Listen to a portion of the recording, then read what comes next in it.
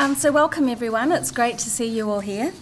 Um, I do have a few disclaimers to start off with. So, the first one is that Russell and I aren't neuroscientists. so, we're um, career practitioners, but we're really interested in this area. The second kind of comes from that first disclaimer, which is that we've only got an hour um, and we could talk for hours and hours and hours about this topic because we really are so interested in it. So we're going to try very hard to stick to time. We've got our colleague here in the front, Clodagh, who's going to signal us um, if we sort of start talking too much. so she's our time wrangler. Um, you're welcome to ask questions as we talk. If we do start to run out of time, then we might just have to park those questions, but we'll just see how we go. And then the final thing is you will be sent the PowerPoint. So you can relax, and if you were thinking of taking notes, you won't need to. Okay. So, in terms of what we're covering, so decision making.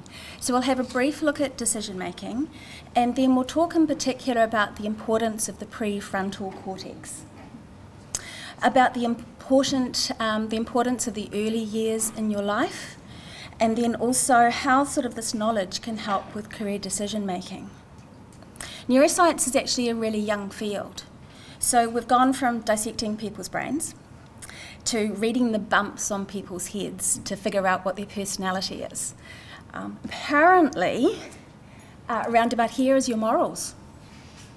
so that's where um, we've got veneration, um, benevolence, hope, spirituality, it's all this part of the brain, apparently. Um, however, now we've got magnetic resonance imaging, so MRI. So that happened around about the 70s and 80s. So we didn't have to read bumps and we didn't have to cut up brains to actually get an idea of what was happening. The great thing about MRIs is you can get people to do a task and you can see which part of the brain is actually illuminated. So that's way better than cutting up dead ones. Tells you a lot more. However, we still actually, even now, don't fully understand the processes, so we're still learning about this. Um, we do know that there's a number of areas in the brain involved in decision making, but we're focused on the prefrontal cortex because it actually matures really slowly. And it's got a lot of implications for making career decisions. So that's why we're focusing particularly on that. Actually, before I start talking about decision making, I've got a question for you. So, what is the average age at which human beings are likely to make rational decisions about important events in their lives?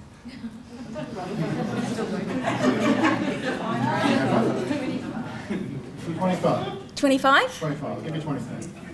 Okay. What else? Any other ages, Tim? Never. Never. Never? Okay, why never? I think you're just thinking about guys, actually. what were some of the other ages? 30. 30? Okay. What else? 35. 35. This is really interesting because if you think about it, what age can you drive a car, drink alcohol, join the army, and shoot people? It's quite scary, isn't it? What age you tried as an adult, and yet none of you said under 20. So it has a lot of implications. The answer is it depends. It depends on so many factors, and Russell will be talking more about those factors in a little while. But in terms of decision making, so our decisions make us who we are. So at each fork in the road that we come to, we've got to make some sort of decision, and then that influences us until we get to the next fork and the next fork. So effective decision making, it's not just um, it's not possible without motivation and meaning um, that's provided by our emotional input. So there are studies that they've done. So there was one particular person who he had an injury to his limbic system, which is where your emotions are seated. So you would think, I can't remember how old he was, but say 30s, you would think that that would turn him to a Spock like character that could make very precise, rational decisions. No, he was paralysed by indecision. We actually need our emotions as well as our rational prefrontal cortex. We need both, and we need them to work together. So, Russell will talk more about that in a little while, but um, essentially, our prefrontal cortex takes a long time to develop, and the connections between the limbic system, where our emotions are, and the prefrontal cortex, that takes a while to mature as well. So there's, um, we need the rational prefrontal cortex. There's three core executive functions. So you've got impulse inhibition, working memory, and cognitive flexibility, and they're all interrelated. They seem to underpin processes such as goal setting, planning, prioritising, sustaining and switching attention, um, initiating and monitoring actions. So we need those three to do those things. We need them to help us self regulate and stop and think. And they're crucial for career decision making. All of those things, if you think about it, you need them to make career decisions. So I've got another question for you. So, how old were you when you were first asked, What do you want to be when you've grown up? Five. Four, five. Tim? I was about five years old, and my reply is I wanted to be a wrestler. There's probably some people who are still being asked it as an adult. yeah, absolutely. I got that for quite a while actually.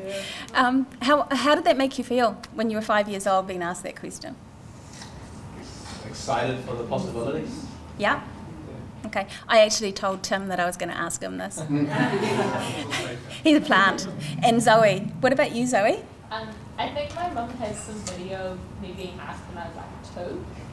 And I think, obviously, I don't remember my answer then, but um, I remember being like really confused when I was asked later in life because it was like, Yeah, that, that was me as well. I don't know how old I was when I first got the question, but I do know that I was about 14 and there was one side of the family didn't know that well. And the aunt that I was most scared of, I, this woman terrified me. She actually later on it was okay, but I was still really scared of her. And she asked me that dreaded question, surrounded by other uncles and aunts. And also I was very shy as well. And I got that question, and it was sort of like I mumbled, I didn't know. What do you mean you don't know? You should know by now. yeah, I still remember. It's the emotions, emotions um, associated with that memory. um, so, at a time when we're expected to make decisions about our careers, our prefrontal cortex isn't fully mature. And as I said before, um, sort of like the limbic system, that isn't properly connected with the prefrontal cortex. We're supposed to make these decisions at 2, 5, 10, 12, 14, 18. I'm not saying you can't make good decisions when the brain isn't fully mature, of course you can. Um, but it's more difficult. And I think that leads on to you. Cool. Thank you very much. You're very welcome. Okay, so what I'm going to do is I'm just going to do a little bit of science behind the brain. And like Peter says, I'm really, really interested in this. This came about probably about two years ago. Um, so working in careers, and I just had this underlying feeling that in the careers industry, we're actually not serving our clients well, usually young people. I thought that we just didn't understand what was going on. So I did quite a lot of research to try and find out who actually knows about the brain. Sure, you find it in academia and you find people who are neuroscientists, but it's really hard to find somebody who talks openly about how the brain functions. So I came across a guy called Nathan Wallis. Okay, now some of you may have come across Nathan because he does an awful lot of talks, especially in early childhood centres, uh, schools, and he talks about young people. You'll find him on Kathryn Ryan, 9 to noon. He does a lot of parenting stuff. So Nathan and I have done workshops. I've sat down and talked to Nathan and I've asked him so many questions. He was a neuroscience educator and is, and does an awful lot of work on this. If you ever get the chance to go and see him, Nathan Wallis, go. He's really, really interesting. But some of the things that he started talking about is the brain. So I think one of the things you've got to be really careful about is these terms that they use, like adolescence, you actually can't define what adolescence is with neuroscientists. It seems to change. So this has come from MIT, not our friends down the road, Manukau, okay? The other one that's somewhere in the States. So, you know, this is sort of like puberty to 18 is the sense of adolescence. What they know through those fMRI, MRI scans is that the brain goes through a huge change, okay? Large growth and pruning. Pruning of the nerves that are inside the brain, okay? And I'll talk a little bit more about that. And it generally is from the back to the front. So as Peter says, the bit that's the prefrontal cortex is, sits behind your forehead, okay? This is the last part of the brain that usually matures. It's engaged, and it is, But when you, and I'm talking to the parents here, excuse me, but if you've got adolescents, teenagers, usually you know when they're in that stage because they're incredibly emotional. All right? There is no self restraint in those kind of things. So, at eight, up to about 18, and again, about 18, you know, there is this change going on. There's a new term that's come out which is called emerging adulthood. Okay, so it's the bit between adolescence and adulthood, generally 18 to 22 or probably 25. Now, as Peter says, when are you an adult? When is the brain mature? The problem is that there is no blue spot in the brain that turns blue when you're mature. It depends, it just happens. And it's really interesting. You could talk to, and we do, talking to 18, 19 year olds, they're totally different to if you talk to postgrads. They're totally different to mature students in their 30s because you can see the change in the brain. So what happens is that prefrontal cortex starts to develop, okay? The executive functions, as they call them, start to come on. Planning, planning ahead, evaluating risks and rewards. Interestingly, neuroscience at the moment is focusing on a lot of the deficits that are happening in society. So there's an awful lot of research around things like mental health, suicide, the effect of drugs and drink on young people. If you ever try and find something about neuroscience and career decision making, there is nothing. Absolutely nothing. It's like the careers industry is stuck in the dark ages somewhere. So I have to tell you, this talk that you're getting now, you will not get anywhere else in New Zealand. All right? And in fact, you probably won't get it anywhere else like Australia or around the world. I have done so much research to try and find people, and it's just dark space. Okay? So, those evaluating risks and rewards, that's why young people make silly mistakes. Nigel Latta talks about this an awful lot. You know, if you've got a young son, all right, if you want to increase the, increase the uh, dangers of them having a car accident, put their best mate in the seat next to them. If you want to increase it again, put their two mates in the back. And usually the kind of things that you hear is, why did you do that? I don't know. It's a natural reaction because the frontal cortex, which is about reasoning, is not really online. It's there, they're still in the limbic brain. So problem solving, thinking ahead, self-evaluation. The two things that happen, myelination, is about insulation. It's about making the nerves and the connections happen quicker. So, some of the things that they're doing, and the research is that young people, when they solve problems, they can solve them as fast as adults, but in some ways, they're not using the same parts of the brain. Different parts of the brain light up. So, what does that mean? Well, probably what's happening is the brain is trying to figure out where those easy connections are which are most efficient and most effective. Can I just sort of say here and now that teenagers of today are no different over past? We, are, we were exactly the same. If you were my age, you know, early 30s. I only say that because I want to know you're listening, all right? And synaptic pruning. That's the pruning the nerves, the ones that are used and the ones that are not used. This is the whole thing like when you say you're hardwired when you're set in stone.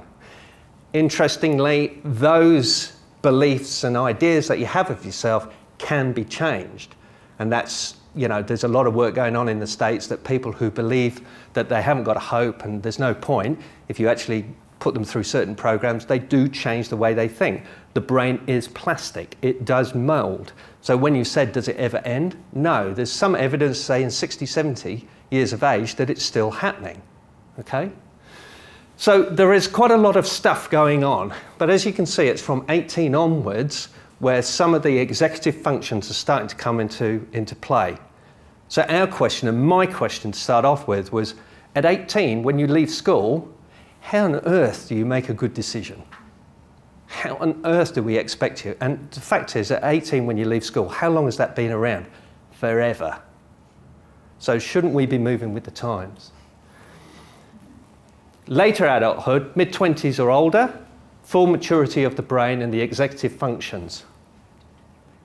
Okay? Now, interestingly, again, if you talk to Nathan, he will say there's an awful lot of research in terms of how quickly does this, does this work? How quickly do you come to a prefrontal cortex? When do you hear it? I hear it because quite often I get students who come in and they start talking in a very logical, coherent way. okay? And I will actually say to them, I'm going to ask you a really strange question. What? Are you firstborn? Yes. So Nathan's idea, and the research seems to suggest this, is that the first 1,000 days are incredibly important for the development of the brain. Not in terms of how it develops, but when it develops. Have you seen the adverts on the TV? The first 1,000 days? That's come from Nathan. All right? You hear an, an awful lot saying about it. So it's the first 1,000 days, which is from conception to uh, nine months and then afterwards. The most important thing is the dyadic relationship.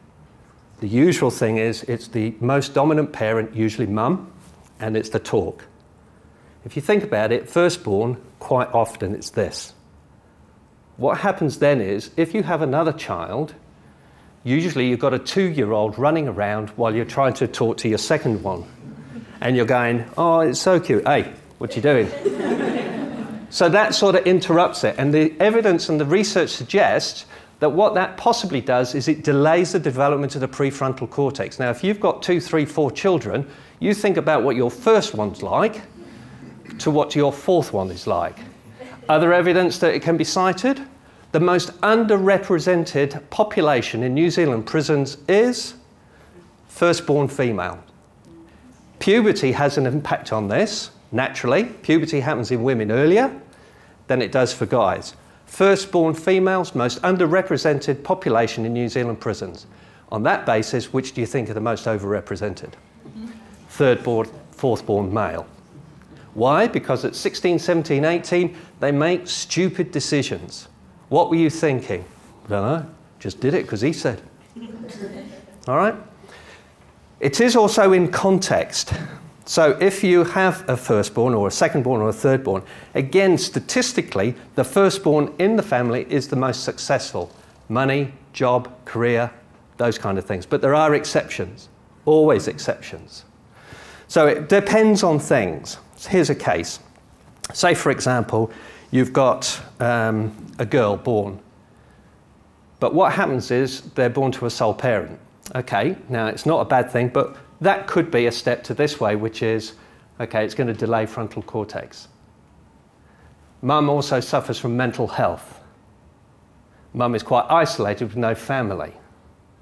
So you see, with the context, things can start to develop where it is going to affect the development of the brain. Now, they know this. One of the classics is the whole thing around Romanian um, refuge, uh, adoptions. You know, the ones that are in the um, nurseries, no contact whatsoever. The amount of delay in terms of brain development around that. But at the same time, if you've got mum who's a sole parent, okay, speaks two languages, which indicates possibly about, you know, being bilingual has some impact on brain development is surrounded by family, has really good support, has actually got an academic education up to master's level. So you see that context is really quite important. So you have to sort of say, yeah, here's the brain and here's the development, but you have to take things into context as well, which makes it incredibly difficult, especially when we sit in front of a student who comes in and goes, so I'm doing this major, what can I do with it? So the main changes that we see, at puberty to 18, again, if you're a mum and dad, you'll see this. Young people, you will notice this, but you get better abstract thinking, seeing patterns and understanding things like fairness. Okay? They start to understand how the world starts to operate. Still a bit limited with right and wrong.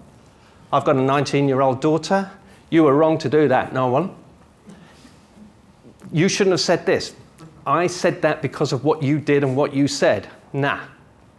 Okay. So straight away, I'm like, I know she's in a limbic brain. I know she's in a limbic brain, and me trying to rationalize and reason with her, I might as well forget it. So I just sort of take a step back. That's a point for parents, actually. Realize when they're in the frontal cortex.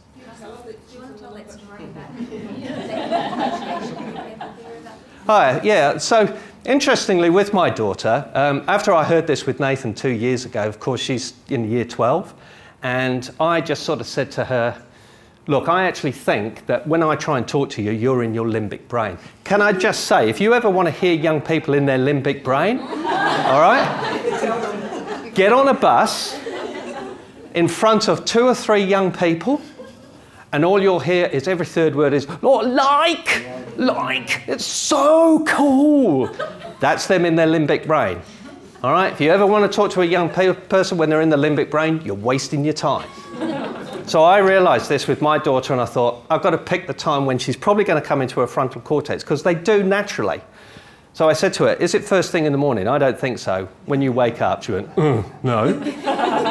okay. She's gorgeous, my daughter, by the way. Um, when you come home from school, I don't think that because you're tired, you're hungry, you want to get on Facebook and find out what your friends are doing. Yeah, probably. I said, But have you ever noticed, you know, about half six, seven o'clock at night, you just come wandering out? All right, Dad, how's it going? Ah, it's going good. Now's my opportunity. Now, it changes with everybody, but I know that if I want to talk to my daughter, I have to listen whether she's in my limbic brain. Parents, if you're actually talking to a young person and you've got a great conversation, their brother and sister walks in the door, you've got no chance. Because all of a sudden, limbic brain and limbic brain trumps frontal cortex. all right? So if you ever want to hear it, sit, ne- sit next to a group of young people at a cafe on a bus, listen to them talk. Oh, look, look, look. Limbic brain. Trying to get any reasoning out of them, forget it. So, up to 18, intense emotions and thrill seeking. There's a guy called Laurence Steinberg. He's a psychologist, and he talks a lot about this as well. And he says, really, with the limbic brain, it's like an accelerator on a car. It's flat to the floor. The frontal cortex are the brakes. That's about regulation. Should you do this? No. Again, Nigel Latta talks about a great story. You can have a really great conversation with young people, young guys, and then all of a sudden their mate will meet them outside the door and go, hey, why don't we get in my car, go down the road and see how fast we can go? And then afterwards you go, why did you do that? And they go, oh, don't know. That's them not being able to apply the brakes. All right, that's the frontal cortex. That's a good indicator. So when I get young people in, sat in front of me and they're talking very coherently about, so I'm going to do this and that, and I'm already thinking ahead and everything. How old are you? 19. Are you firstborn? Yes. Again, Nathan talks about he did a, a, survey in Christchurch. There were 100 gifted kids 50 boys, 50 girls. He did say to me, he says, the girls were certainly gifted, some of the boys weren't. he says, I think they were making up the numbers. But, but after a while, he just sort of decided, he just turned around and he went, Random question, how many of you are firstborn? Out of 100. How many do you think put the hand up? 90. So, you know, even at that age, you know, there's a lot to be said for this. So we've got to start to understand this and that the context and the implications are really important. Between 18 and 22, 25, you start to see more complex thinking. They put together abstract ideas, values, a sense of self. Actually, this is really important this sense of self. Who am I? Where is my place in the world? What is important to me? What do I think about? If you think about it, they're very abstract ideas, and if you have not got your frontal cortex coming online very often, they are sort of like, so I'm really, I'm really, yeah, I think I'll do, oh, look, girl, oh, and then food. This will happen. It's a bit of distraction. Trying to hold those ideas are really hard for young people. So, abstract ideas like, what do you want to do when you finish? Really hard. They appreciate diverse views. Yeah, I can see what you're seeing. You know, put themselves in other people's shoes. They actually get better at doing that. Better emotional self control. They apply the brakes. But the last point is really important it's very new. It's not going to be done all the time. It takes time and it takes practice. Unfortunately, parents, you've got to have patience, okay? And really encouraging those kind of things. All right? Mid 20s and older, that's when you see it. So, like I say, when PhD students come in, and they're usually in their late 20s, early 30s, conversations I have about who they think they are are far more different to a young person at 19, 20. Totally different. One, their frontal cortex is definitely engaged. They're able to think of things, abstract ideas, talk about what they think about, all right? And actually have just done, had a lot more experience, which is really important. All good? Cool. Say- sorry, Yeah. on the previous slide, some people never get to that point. Yes. Yes. That's interesting. Look, I, I, think, I think sometimes if you really want to, just get onto YouTube, all right, and, you know, stupid people, and you will see it. And, you know, it's like the limbic brain is always there. And again, that probably comes again from family upbringing, you know. Um, and there are some people who are in the frontal cortex, but they don't make great decisions and get very emotional. You know, people who fly off the handle all the time, okay, what's going on? Because that's the limbic brain. So in that sense, then, if you're thinking like you know YouTubing, YouTubing stupid people, would things like you know alcohol and other Yes. sort of things actually take you from being in your frontal cortex back Yes. into the limbic system? Yeah, because what happens is your frontal cortex is going, yeah, I'll have a glass of wine. You have your glass of wine, and all of a sudden your limbic brain takes over, and you go, I'm going to have the bottle. and then next day your frontal cortex comes out online, and it goes, what the hell? What was I thinking? I don't know. I don't know about you. Know this. No matter how old you are, you've been out, and then next day you've gone, the hell was I thinking? What did I do? Usually that is not like me because all of a sudden that common sense, logical person that you are just goes out the window. That's under the influence, which is why they're interested in the effect of drugs and drink on young people and how that.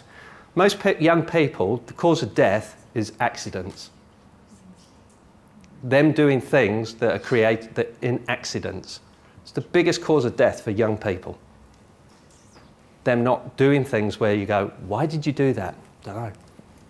There was another question.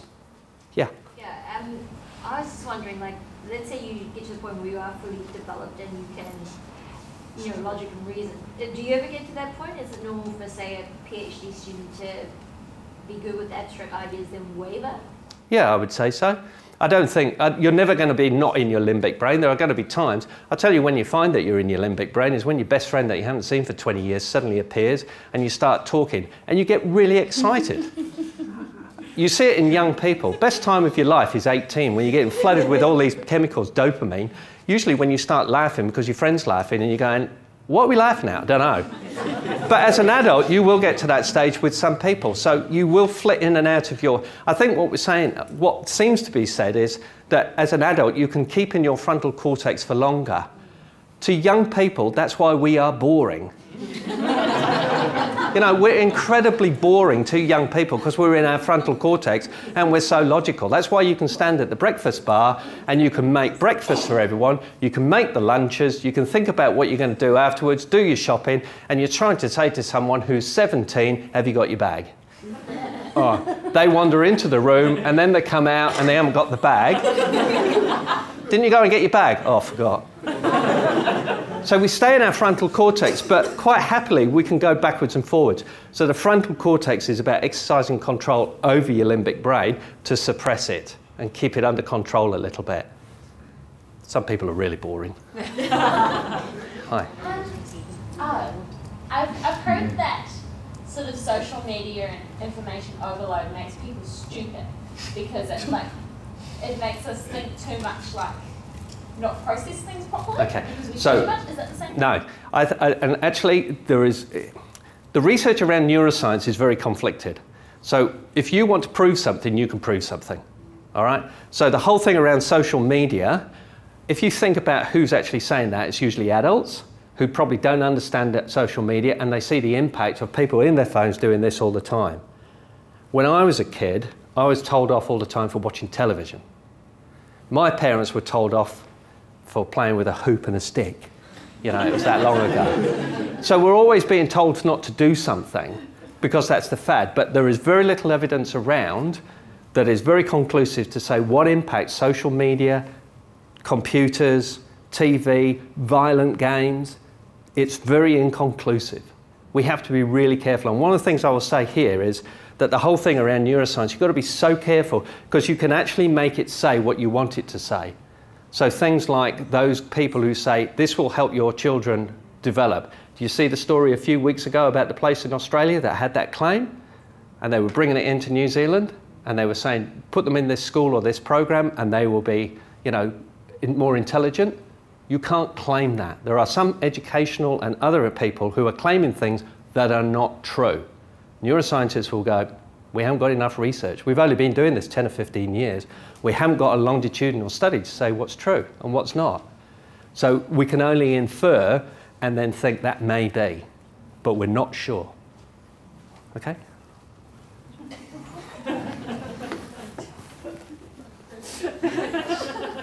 It's a bit like advice we get about, you know, diets. You know, one minute wine is bad for you, the next minute red wine's great. chocolate is bad for you, dark chocolate is good. Um, so at the moment, they're still discovering all of this, still learning. I'd like to think jogging is really bad for you. Which leads me into mindfulness as a superpower. Um, so there's lots of things we can do to sort of like aid our brain, sort of improve our sort of like decision making. So obvious things such as exercise, sorry, uh, nutrition, so diet. So yep, two slices, two squares of dark chocolate a night are good. The whole block not so good. Um, so there's things like that. There's also planning. So we need to be able to plan, but how many of us are taught how to plan? It's not usually something that's taught. Um, when you get to university, you might learn about short term and long term planning, but it would be nice if you could actually learn about those things earlier. Time management. How many of us are taught about time management? So those sorts of things will actually help. But I want to talk a bit about mindfulness because it actually um, studies have shown that it does actually change the brain. So what is mindfulness? It's a superpower.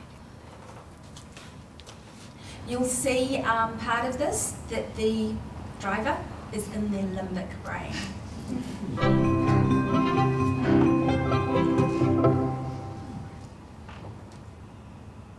You may have heard this word mindfulness. It's become something of a buzz phrase of late. I'm going to give you one simple, serviceable definition, which is this.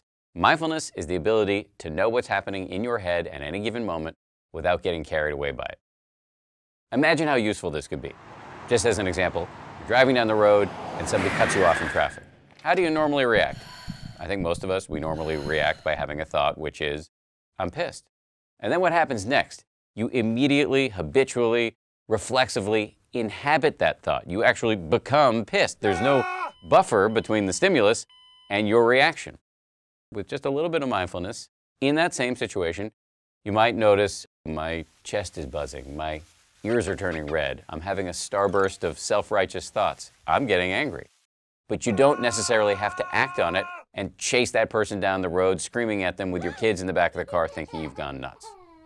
Now, you might be thinking, don't I need to get angry sometimes? Aren't I justified? I would say yes, but probably not as much as you think. The proposition here is not that you should be rendered by mindfulness into some lifeless, non judgmental blob. The proposition is that you should learn how to respond wisely to things that happen to you rather than just reacting blindly. And that, my friends, is a superpower. How do you get it? The way to get it is through meditation. I believe that meditation and mindfulness are the next big public health revolution. In the 1940s, if you told somebody you were going running, they would have said, Who's chasing you? But then what happened next? The scientists swooped in, they showed that physical exercise is really good for you, and now all of us do it, and if we don't, we feel guilty about it. And that's where I think we're headed with mindfulness and meditation. It's going to join the pantheon of no brainers like brushing your teeth, eating well, and taking the meds your doctor prescribed for you. Let me just close by saying mindfulness is not going to solve all of your problems. It's not going to render your life a nonstop parade of unicorns and rainbows. Nonetheless, this is a superpower and one that is accessible by you immediately. So that's mindfulness. Um, a shout out for the University of Auckland website. So if you just go on to auckland.ac.nz slash wellbeing, there's that DVD um, and there's other videos as well, all equally funny and cute, but also really on point. And there's other information on there about the importance of nutrition and exercise and everything else. Um, so, why did I focus on mindfulness? It's because brain imaging shows that it does actually physically change your brain in a good way. Um, so basically, sort of like it makes changes in areas relating to all of those types of thinking. So complex thinking, decision making, introspection, the emotion regulation, etc. So what apparently happens is that you develop a thicker layer of neurons in your prefrontal cortex, and that's a good thing. Um, and also other areas of the brain, which I won't go into. Um, a 2013 study showed that 15 minutes of mindful meditation, you've got to do this regularly. So it's not enough to do 10 minutes every week or so. Um, but if you do it regularly, so 15 minutes of mindful meditation can help people make smarter choices. Studies have, studies have shown that mindfulness helps to lead to better decision making. A brief period of mindfulness allows you to make more rational um, decisions because you actually consider the information available in the present moment. And then you can do what Russell was saying is difficult for younger people, people with a less fully mature prefrontal cortex, and that, that's think about the future. Think about positive future outcomes. So just that little moment of pause. And you can also do something called the neuroeconomic cost of a decision. So, mindfulness. And I think Russell is yep. now going to put it all together. Oh, right, okay, hang on to your seats. Here we go. Have you um, got any questions? Any more questions? Good. No. you still with us? Excellent. Okay, so um, one of the things that I think is you've got to hang on to this idea of neuroscience, and what Peter was just talking about with mindfulness is that what they call metacognition, thinking about what you're thinking about. Actually, it's really okay to stare off into the distance and lose yourself. That's sort of that kind of thing. It's, don't feel guilty about it. I think what you've got to be really careful about is there are some people who are going to do that, and like I said, in some contexts, they're going to have really quite negative thoughts. That's really quite dangerous. That leads to depression.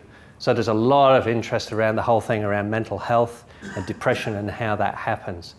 I was just reading the study that's done at Victoria University. It's just come out, and they've sort of talked to young people, and you know, if you can get them to think in a more positive way when I feel happy, I have been, it can change that. So it's about thinking about what you think about. I take for granted that most of us are positive people, so that's it. Now, putting it all together. In terms of the career decision making, I think we've got this wrong, badly wrong. Okay? So when students come in and talk to me, they go, I've got this degree, BCom, I've got two majors. What can I do with it? I know that the worst question you can ever ask a young person at university and at school, if you've got teenagers and they're at university or at school, don't ever ask them, when you finish school or finish uni, what are you going to do? Every young person goes, don't ask me that question because behind every question there's a statement. The statement is, you know what you're doing. And most young people go, I have no clue. So we always start with, what do you want to do? Wrong question. Where you should start is the other end. Now you'll see this, if any of you have been online recently, you'll see a guy called Simon Sinek, and he talks about the golden circles. I think he stole my idea. Honest, I really do think this. Now he did his YouTube, uh, LinkedIn talk about 2009. I've applied this more to career decision making. So he talks about the golden circles what is what most consumers or businesses actually focus on. We should focus on why. Why? Not why are you doing this degree, but the whole why. Why do you want to do it? It's about purpose. Big questions like if you could change one thing in the world overnight, what would it be? What concerns you? What issues do you get really upset about? Now, if you think about it, young people don't ever get asked that. In fact, they don't get asked at school, they don't get asked at uni. And I'm going to say here, what are we teaching them? Because I think we do need to teach them. And as parents, you've got to ask your kids this what concerns you? Because if they understand what purpose is, They then understand the next bit, which is the how. This is their degree. If they understand what the purpose is, then that makes sense as regards what they're studying. So I say to them, What are you studying? A BCom. I'm doing this. Okay, that's great. I can't answer that question at the end. We'll come to that. But I need to go back. I need to talk to you about what is your purpose? What are the things that are important to you? Because if we start to uncover that, then what happens is that line there means that this starts to link more closely. It's a really hard concept. So if you go back to the neuroscience, the frontal cortex, it's an abstract thought. Young people are usually developing a sense of purpose. There was a study done by a guy called Bill Damon, big study in the States. 20% of young people he found have a sense of purpose. There are others, about 40, 45%, that are developing a sense of purpose. They call them dabblers and dreamers. Worryingly, the, the rest have no sense of purpose and have given up. I don't know what it is in New Zealand, but I wouldn't say that we're too far away from that kind of statistic. So, one of the things we need to do is change our focus to purpose. Talk to young people about what concerns them. I would have to say that these young people today, probably because of parenting, and it's been more liberal, and I'm talking about my parents. My parents, the way they parented me, is not the way I parented my daughter. I'm far more about what I want to talk about. What do you want to talk about? Come and talk to me. So you find that young people today, when they say, I want to work for somebody who's got morals and values and things I believe in, they've actually leapfrogged us. We only start thinking about that in our 30s and 40s. In fact, we get to our 40s, midlife crisis. What is midlife crisis? All of a sudden you've been putting up with things for so long, you get to midlife, kids have left home, and suddenly you go, I don't need to put up with this anymore. I don't need to pay, the, I don't need to earn this wage. I can do whatever I like. That's midlife crisis. All right? Young people are starting that earlier in their 20s. You can hear it in the way they, they talk, and that's from liberal parenting. They are no different to us, it's just the context. The most important thing as well is not only the neuroscience behind it, but this is informed by experience. Again, if you think about 18 year olds, what experience have they got? They've been to school, they've played some sport, they've maybe had a part time job, they've lived in a family, they might have been lucky and been overseas. What else have they done? Experience informs purpose. It gives you a better sense of this is what I like, this is not what I like. I believe in this. And it's really important because that sense of purpose develops because you look back on your life and you make you see the continuity and the coherence. I remember as a kid when I was five, six, seven, some things that I've only just started to think about, I have a strong sense of what's right and wrong and justice. Things happened to me and I could talk to you about them that I went, that's not fair. And I got punished for things at school by my mum and dad, and I went, that's not fair. So I've got a real deep level sense of trying to help people who can't help themselves. Because I don't believe that some people are in that situation because of themselves, the society, the system, whatever. So through my work, I started off as a school teacher. The kids I really liked, bottom set, 4G8. You know, they turn up with statement, they were statemented, they got teacher aides. There were more teacher aides in the class than kids. Oh my God, loved them. Why? Because it's my sense of justice. I've had long contracts with work and income, helping people who can't help themselves, people who are vulnerable. That is my purpose. Everything I do is served by that purpose. It makes sense, therefore, that anything I do in terms of learning skills and knowledge is going to be linked to that, and whatever work I do, my career title, is always going to be that. So, what and where I work allows me to affect change it allows me to put into play what I think is important to me, my purpose. The further away you are from that line, you call it a job. Get a bit closer, it's a career. When you sit on that line, you feel it's a calling. You would do it for no money. There are some people who would work for Greenpeace and they believe in Greenpeace, but all they do is a job Why? Because they are far enough away. They're probably doing administration stuff, whereas what they really want to do is they want to do more activist stuff. They want to get involved. Bureaucracies are really good at pushing people out into jobs.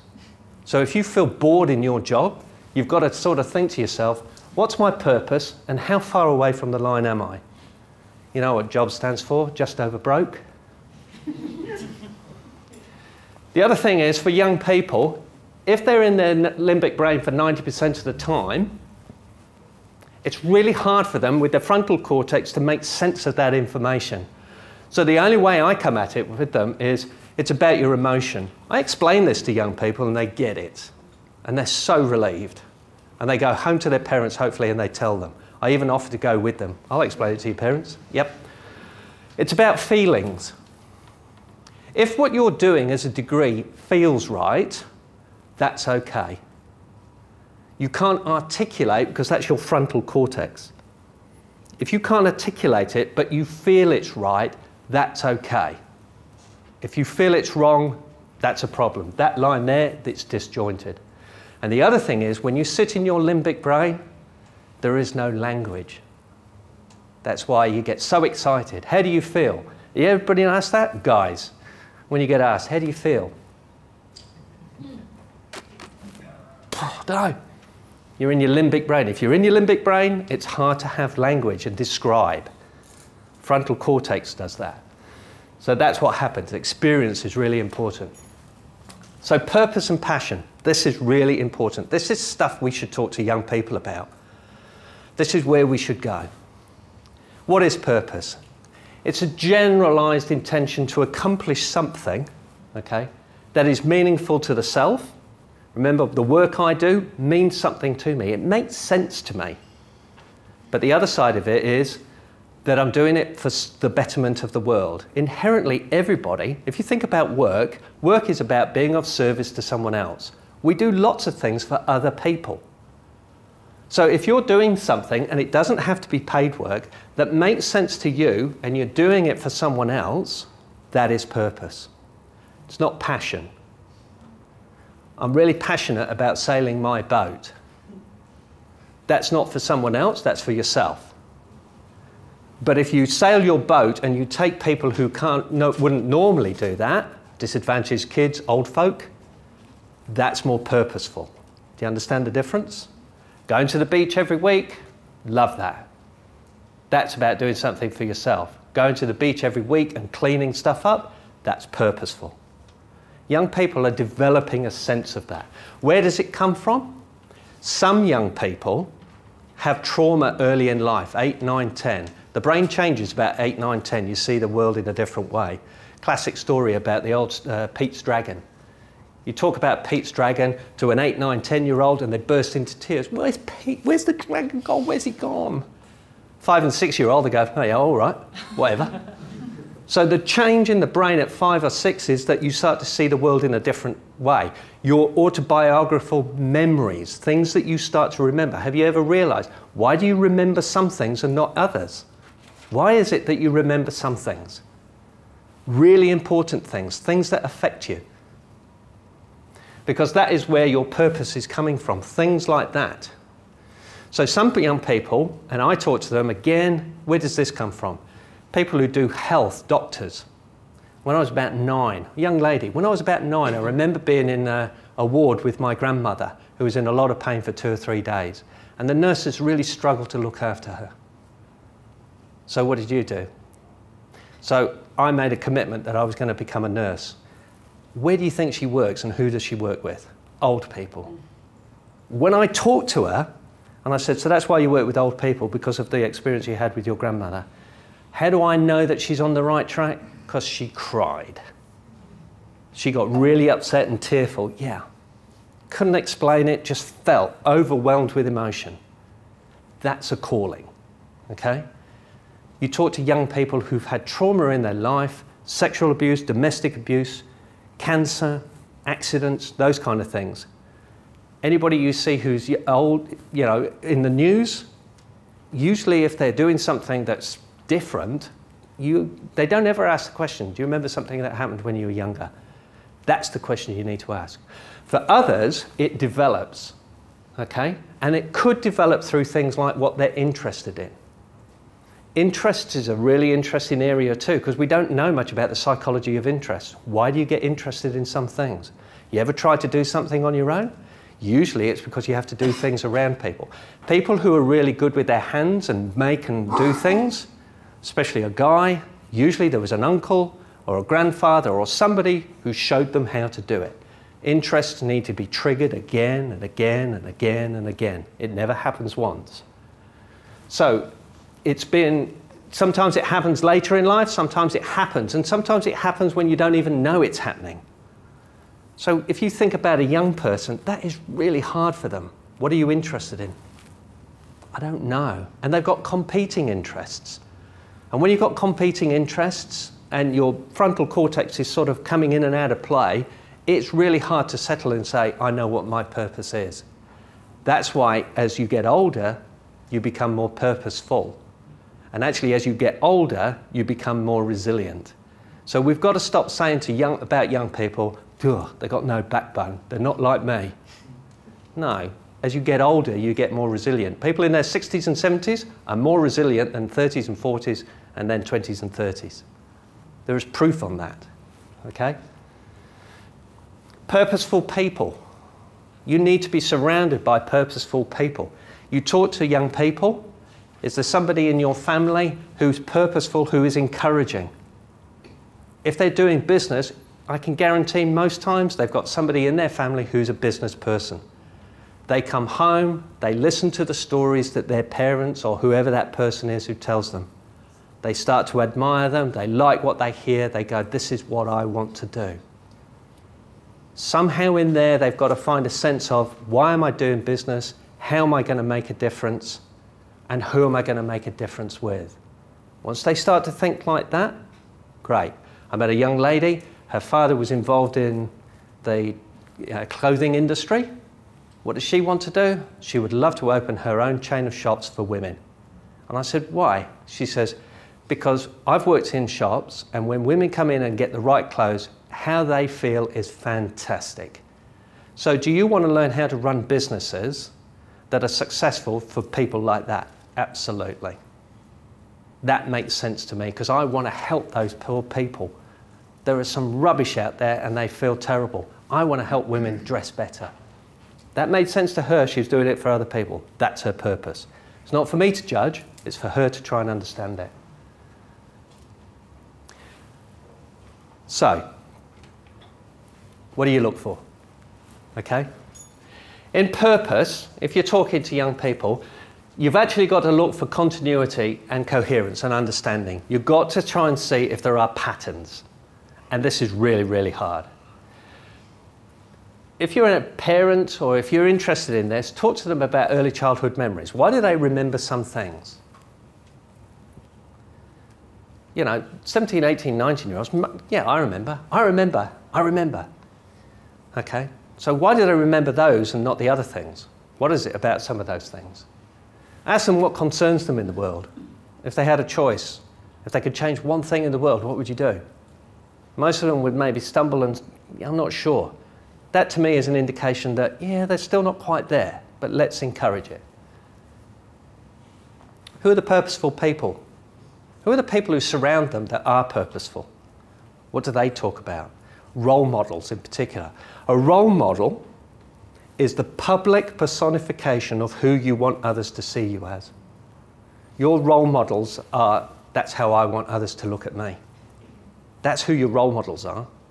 So you think about the people that you admire and think are role models, that's how you want others to look at you. Asking young people that is quite interesting. They haven't quite got it yet, but they're starting to develop it. And more than anything, rather than getting some kind of articulated answer, you've probably just got to say to them what feels right. If you're doing a law degree, does it feel right? Yeah. Okay. Don't ask them what they're going to do with it because they haven't got there yet. But if it feels right, they're on the way. If there's hesitation, then sometimes it's somebody else's suggestion. That's always a problem. In your career, ask simple questions. What games did you like playing? It's quite interesting, you know, people who played Risk, chess, that's actually them being very strategic. It's quite clear people who do creative games, you know they're going to be creative in some way. But there is a lot of theory and careers around asking people what games they like playing. What are the books and films and TV shows they read and watch? Quite often they get interested in these because it links to purpose. If you've got a teenager, what do they keep watching? Hopefully it's not My Kitchen Rules and, you know, and, you know, Married at First Sight. But, you know, there might be something in that. That could be entertainment, but there are some things they watch because it's uncovering some kind of purpose. You've just got to be aware of those things. What are they good at? You will invest time, effort, energy, and resources in things that you are good at and, and interests. And you are developing your skills. But again, that's the middle bit. That's how you're going to implement your purpose. What do you spend a lot of time doing and practicing? What feels right in terms of a career? Just very quickly, my daughter. My daughter, I told her, do not at 18 go straight off to tertiary study. I said, you know, this has got to be an investment, not a cost. And I'm sorry to say, but I think a lot of students go to 18 and parents will turn around and go, yeah, they haven't quite figured it out yet, but we're hoping in the next couple of years they'll get there. My God, that's an expensive experiment if you ask me. I'm not saying don't go off to university or polytechnic. I'm just saying, is 18 the right time? I'm not so sure for some young people, especially if they're second, third, fourth born. All right? Um, but I asked my daughter, she wants to get in the music industry and she wants to put events on. Where did that come from? When she was three, she started dancing.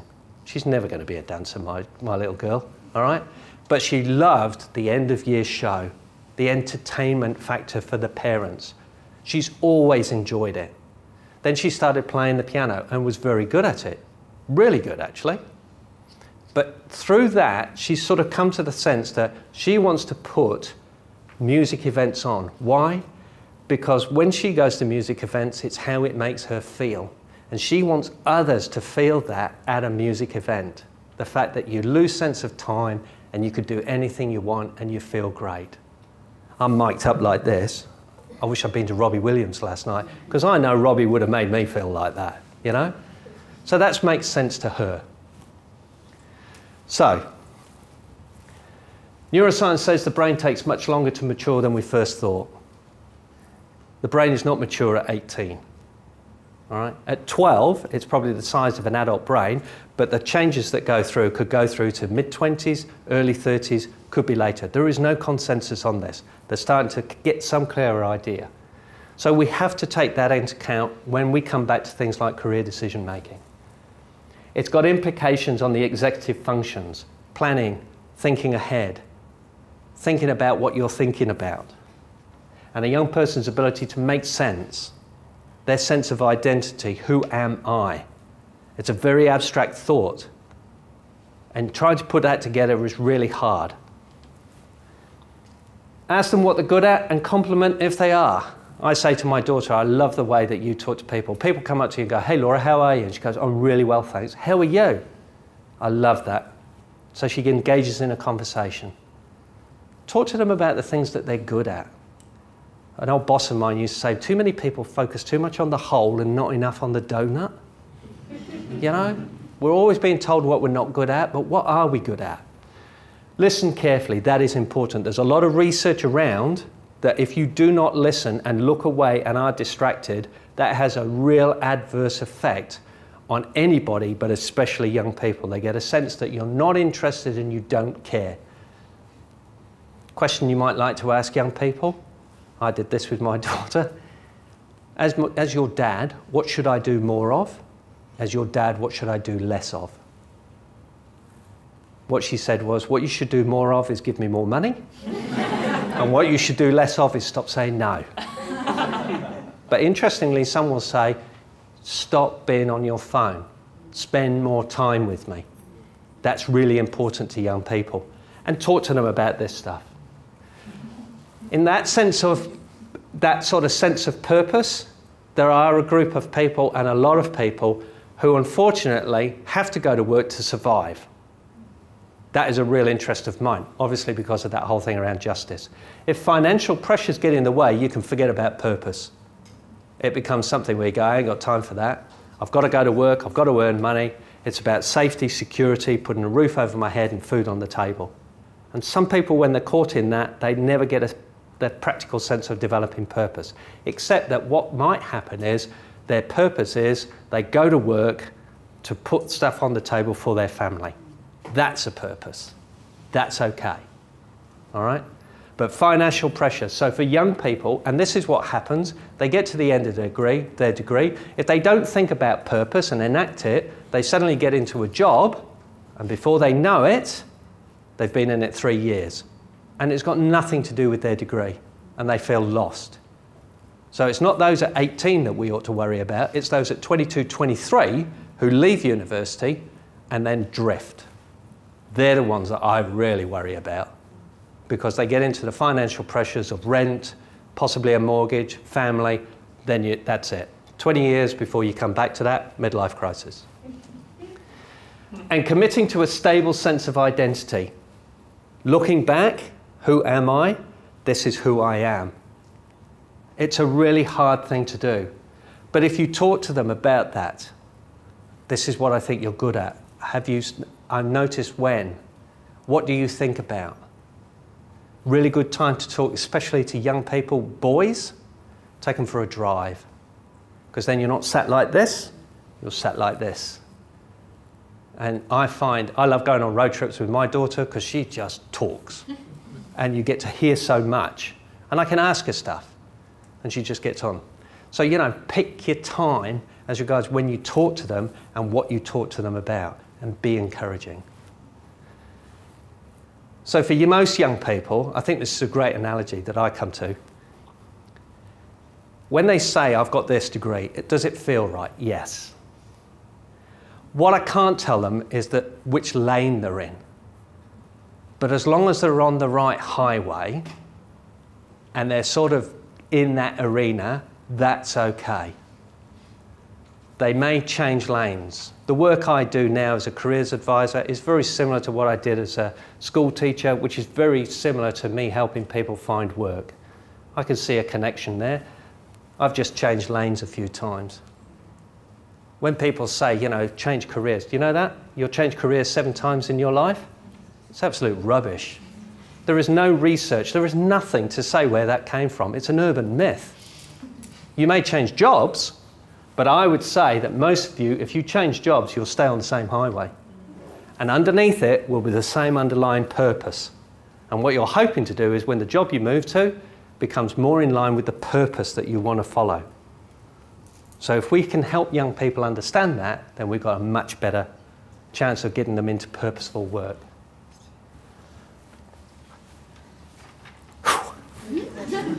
Okay, thank you.